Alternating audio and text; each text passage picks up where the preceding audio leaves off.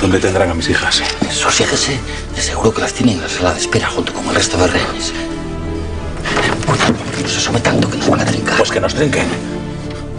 No hemos venido hasta aquí para quedarnos agazapados hasta el día del juicio final. Pero aguarde, por el amor de Dios. Así sin más ni más vamos a presentarnos ante ellos. ¿Y qué quiere? ¿Llevarles flores?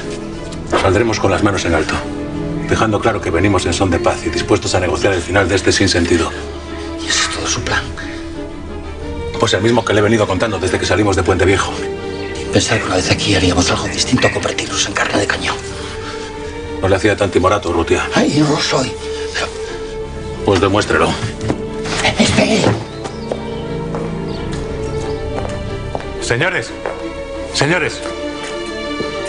Bajen las armas, por favor. No será necesario utilizarlas. Venimos a pecho descubierto, con el único fin de buscar una salida justa para todos. Por favor. Urrutia, salga de su escondrijo y salude a estos buenos señores. Venga usted, Urrutia.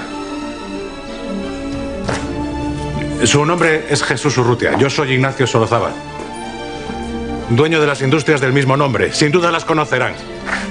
Pues no las conoce. Por favor, no hace falta llegar a estos extremos. Bajen las armas, hemos venido a negociar.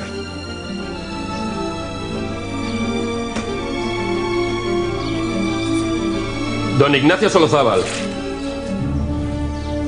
El mismo. ¿Y usted es? Es Juan el Patalier, don Ignacio. Trabajó para nosotros hace unos años. Y miren el resultado. Mis hijas, Juan. ¿Cómo están? Esas dos señoritingas de dulce, no se preocupe. Pero no vamos a hablar de ellas, sino de ustedes dos. ¿Cómo diablos han venido hasta aquí? ¿Y con qué fin?